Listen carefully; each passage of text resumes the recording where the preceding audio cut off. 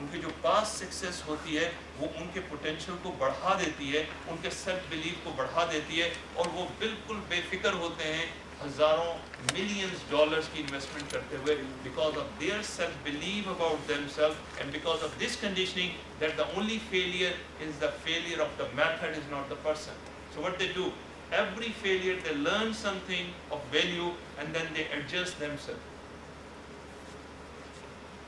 एक और सर्कल है जो लिमिटिंग सर्कल लिमिटिंग क्या है? अगर आप में से किसी के लिमिटिंग बिलीव्स हैं, अपने बारे में लिमिटिंग बिलीव्स हैं तो क्या होगा?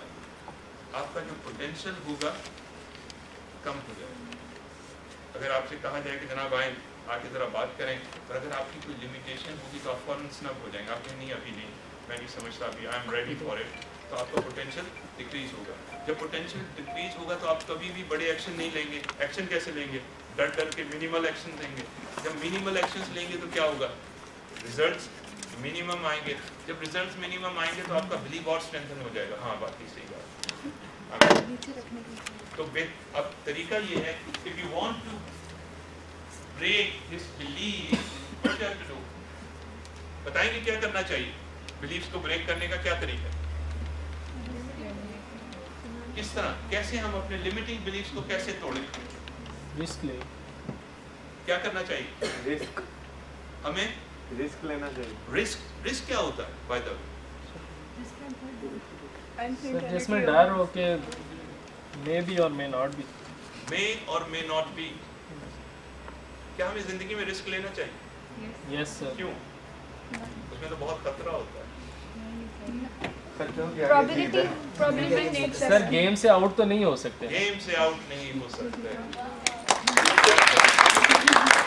जिस बंदे को ये बिलीव हो गया कि वर्ष कम वर्ष ये होगा कि from the point number 30 I will come back और drop down to point number 10 that's it we are not going outside the board तो उसमें ये होगा कि आप हर चीज़ को ट्राई करेंगे। नंबर टू जब आप ये देखेंगे लेकिन थॉमस एडिसन की मिसाल अगर आपने पढ़ी हो, मैं आपको एक और एडवाइस करूँगा कि आप बुक्स को अपनी ज़िंदगी में शामिल करें। ये सिर्फ़ मैं निसाबी बुक्स की बात नहीं कर रहा मैंने जितने सक्सेसफुल लोगों को देखा, मैंने उनमें कॉमन मेथड सक्सेस का ये देखा। मैंने जिनसे पूछा, मैंने कहा, मुझे एक एडवाइस ज़रूर करें उनमें से मेजॉरिटी ने मुझे ये एडवाइस की कि बुक्स को अपनी ज़िंदगी का साथी बना लो।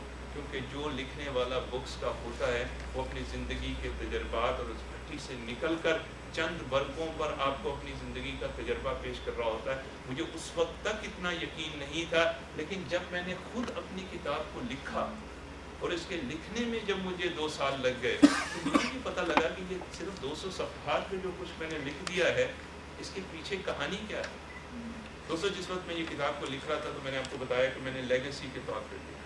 इसमें ऐसे बहुत सा वक्त ऐसा आया और उसमें जब मैं लिखा तो अपने बच्चों के लिए लिखना शुरू किया, मेरे जहन में तस्वीरें आप लोगों की मैं जब अपने मुल्क हालात को बाहर बैठ के देखता था, मेरे जैसा हर वो पाकिस्तानी जो बाहर है, वो उसी तरह गमजदा और गमगीन होता है। तो मैंने ये सोचा कि गम, गमगीन होने का कोई फ़ायदा नहीं नेगेटिव बोलने का फ़ायदा कोई नहीं। The important part but someone can do कि इन सब चीज़ों में अप टू एक्सटेंड पॉसिबल आप क्या पॉजिटिविटी शेयर करते हैं that is an obligation which every one of us should do I have started writing इसके लिखने में कभी आँखों से आँसू भी आ रहे हैं क्योंकि लग ये रहा है कि यार ये चीज़ अगर हासिल हुई शायद इससे बहुत सारे लोग फ़ायदा उठा लें। तो all the stories which has been narrated over here it is been there मैं आपको इनकरेज करूँगा अगर आप इसको ख़रीदना चाहें बिकॉज़ ऑल द जो इसका प्रॉफिट uh, है वो भी चैरिटी के लिए जाएगा। लेकिन ये आपके भाई की एडवाइस है will get it this the best investment you can make in your life अब मैं आपको एक बात ये करते हैं। Because I don't want to hold you for a longer period of time और मैं ये समझता हूँ कि बहुत सारे लोगों के जहन में बहुत सारे सवाल भी हों। आप मुझसे कोई क्वेश्चन करें that will give me some more dimension so where I can talk further on that जी कुछ सवाल करेंगे? जी, आप बताएँ